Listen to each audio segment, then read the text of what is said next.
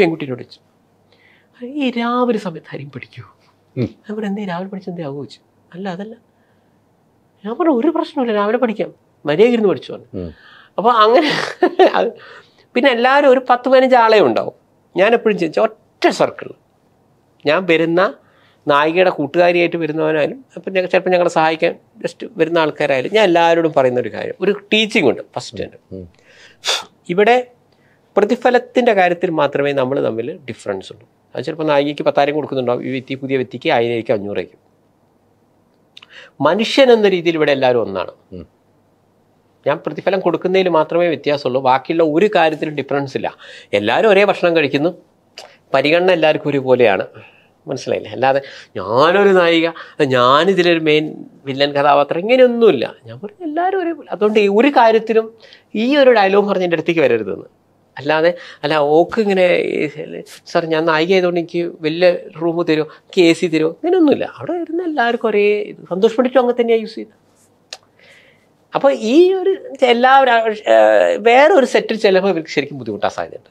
കാരണം ഇങ്ങനെയല്ലല്ലോ വേറെ സെറ്റ് വരുന്നത്. അങ്ങനെ പ്രശ്നമുണ്ട് അതേപോലെ ആണായാലും പെണ്ണായാലും ഞാൻ പറയുന്നത് ഇവിടെ വെള്ളടി പുകവലി അങ്ങനത്തെ ഒന്നുമില്ല ഒരു കുട്ടി എന്നോട് പെൺകുട്ടി വെച്ച് സന്തോഷമായിട്ട് എന്നെ കണ്ടിട്ട് ഞാൻ വെള്ളടിക്കുന്നതായിട്ടൊക്കെ തോന്നുന്നുണ്ട്?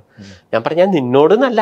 ഇവിടെ വരുന്ന ആണുങ്ങളോടും പെണ്ണുങ്ങളോടും മേക്കപ്പ് മാനോ ആര് ക്യാമറമാനോ എല്ലാവരോടും പറയുന്നത് ഞാൻ നിന്നോടും പറഞ്ഞു കാരണം കാരണം എനിക്കൊന്നും എനിക്ക് വെള്ളടി ഇല്ല അപ്പോൾ ഈ സ്മെല്ല് സഹിക്കുക എന്നൊക്കെ പറഞ്ഞാൽ ബുദ്ധിമുട്ടാണ് അവർ അവരെ പൈസയ്ക്കാണ് കഴിക്കുന്നത്. ഞാൻ പറഞ്ഞ രാവിലെ ഏഴ് മുതൽ രാത്രി ഒമ്പത് മണി വരെ നടക്കൂല. പിന്നെന്താണ്? അവനവന്റെ വർക്ക് കഴിഞ്ഞ ഉടനെ പോകണം. അല്ല സാർ ഞാൻ കുറച്ച് നേരം.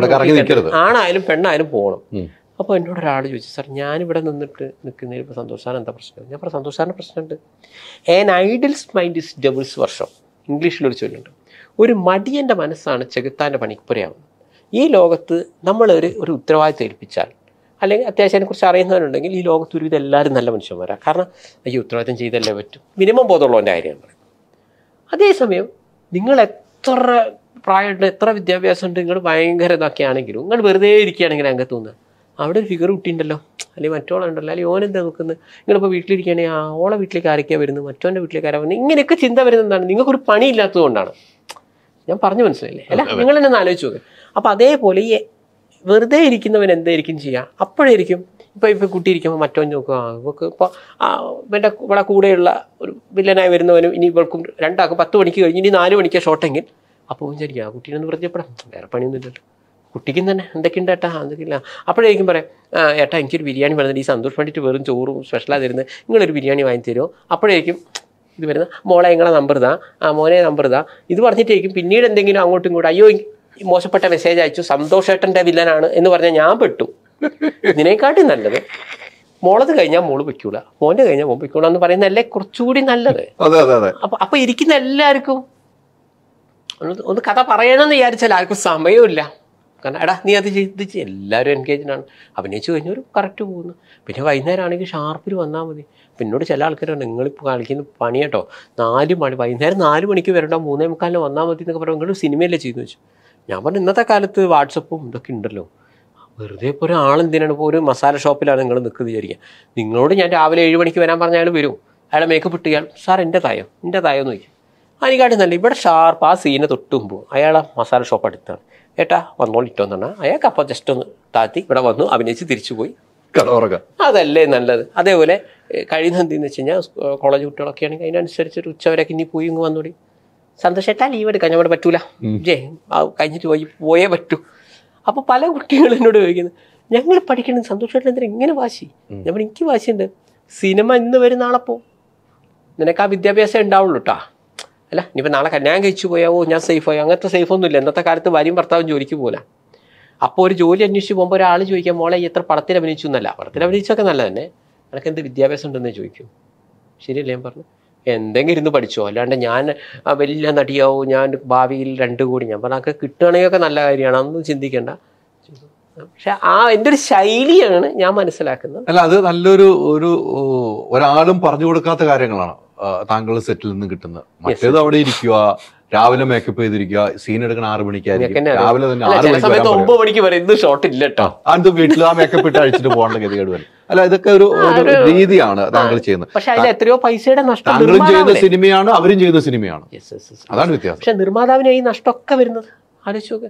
ഇപ്പം ഞാൻ വൈകുന്നേരം ഒരു കുട്ടിയെ വിട്ടു മോളെ സന്തോഷമായിട്ട് ലോഡ്ജിൽ നിൽക്കണം. എന്തിനാണ് എനിക്ക് രാവിലെ ഇത്രയും ബസ്സില്ല രാവിലെ ആറേകാലം കൊണ്ട് കയറിക്കുക അല്ലെങ്കിൽ ഫസ്റ്റ് ഷോട്ട് നിന്റെ അല്ല ഒമ്പത് മണിക്ക് വന്നാൽ മതി എന്ന് പറയുന്നിടത്ത് സന്തോഷം കൊണ്ട് എന്തൊക്കെ ലാഭമുണ്ട്?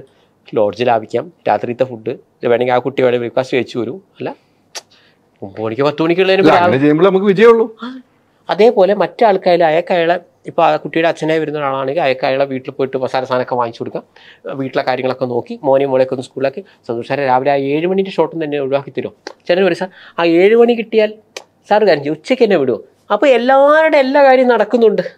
ഒരു ഗവൺമെന്റ് ഉദ്യോഗസ്ഥനാണ് എന്റെ സിനിമയിലേക്ക് വരുന്നത് ഞാൻ പറയും ചേട്ടാ പത്ത് മുതൽ അഞ്ച് മണി വരെ പോയിരിക്കണം. അപ്പോൾ ഞാൻ അഭിനയിക്കണ്ടേ? നിങ്ങൾ രാവിലെ വരിക. എന്നിട്ട് ഇയാൾ പത്ത് മണിയാകുമ്പോഴേക്കും ഞാൻ ഇയാളെ നിർത്തി വിടും. എന്നിട്ട് ഇയാൾ അഞ്ച് മണിക്ക് അത് കഴിഞ്ഞ് പിന്നെയും വരാം അപ്പോൾ ഇയാൾ വയ്ക്കുന്നത് മനുഷ്യ എനിക്ക് ഇരുപത് ക്യാഷ് കിട്ടും ഇനി ഞാൻ ഇവിടെ നിൽക്കുന്ന ഒരു സന്തോഷ് സാറിന് എന്താ പ്രശ്നം? ഞാൻ പറയും എനിക്ക് പ്രശ്നമുണ്ട്. നിങ്ങളെ നോക്കിയിട്ട് അവിടെ ഒരുത്തം വരുമ്പോൾ നിങ്ങളെ കണ്ടില്ലെങ്കിൽ ഇൻഡയറക്റ്റ്ലി എനിക്കാണ് അതിന്റെ ഇത് വരുന്നത് സന്തോഷിന്റെ പടത്തിൽ അഭിനയിക്കാൻ അങ്ങനെയല്ല യെസ് ആ യെസ് അങ്ങനെയല്ലേ വരിക. അപ്പം ഞാൻ പറയുന്നത് എല്ലാവരുടെയും അനുഗ്രഹത്തിലൂടെ വേണം ഒരു സിനിമ മുന്നോട്ട് പോകാൻ. എല്ലാവരും ഒരു അല്ലാണ്ട് ഒരു ഒരു ബംഗാളികൾ പണിയെടുക്കുന്നോളൂ ഏ?